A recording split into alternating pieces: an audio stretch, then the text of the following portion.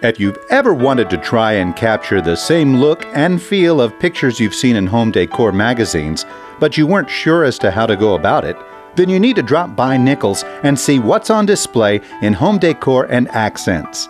The buyers at Nichols have taken out all the hassle of how to decorate your home with accents and accessories.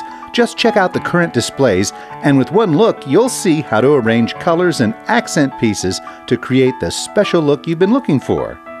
From old world to contemporary, when it comes to home decor and accents, Nichols has what you need.